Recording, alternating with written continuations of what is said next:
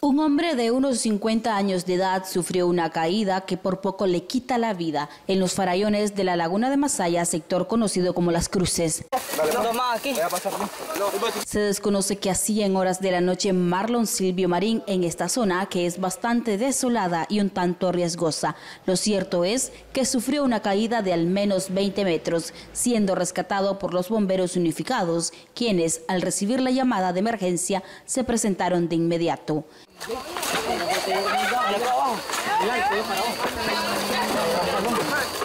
El misterio es porque Marlon Silva Marín, de 54 años, fue encontrado en esta zona. No tenía evidencias que realizara alguna labor como la pesca. Sin embargo, parecía estar bajo los efectos del alcohol. Es algo que está investigando la Policía Nacional. Cabe señalar que este sector de las cruces es bastante complicado debido a la topografía del terreno. No es recomendable estar allí a causa de la oscuridad, pero también de animales que podrías encontrarte sobre el camino, ya que esta zona es boscosa y podría haber hasta serpientes. En Crónica TN8, Telma Benavides.